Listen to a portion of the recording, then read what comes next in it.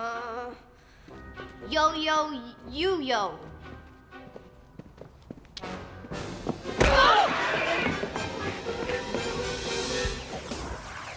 What the?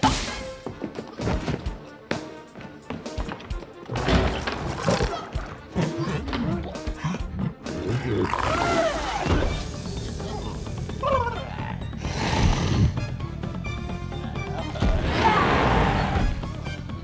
use a little sunlight.